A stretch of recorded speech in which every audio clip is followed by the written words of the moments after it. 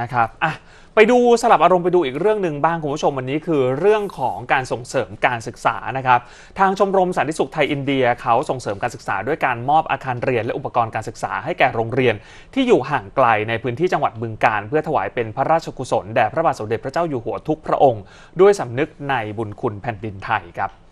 โดยวันนี้นายปิยพงศ์พลาจันทร์ผู้อำนวยการสำนักงานเขตพื้นที่การศึกษาประถมศึกษาบึงการ ได้เป็นประธานในพิธีรับมอบ และพิธีเปิดอาคารเรียนอาคารเกษร4โรงเรียนบ้านคำไผ่ตำบลสีชมพูอำเภอโซ่พิสัยจังหวัดบึงการ รับมอบจากทางชมรมสันติสุขไทยอินเดียนะครับ โดยคุณศักดาสัจมิตร ประธานชมรมสันติสุขไทยอินเดียบอกว่า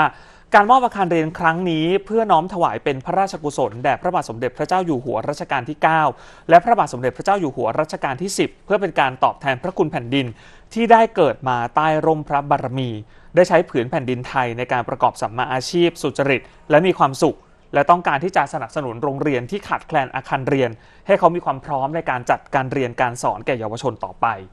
ซึ่งโรงเรียนบ้านคำไผ่เป็นโรงเรียนขนาดเล็กครับ ที่นี่มีครูอยู่ 17 คน มีนักเรียนตั้งแต่ชั้นอนุบาลถึงมัธยมต้น ทั้งหมด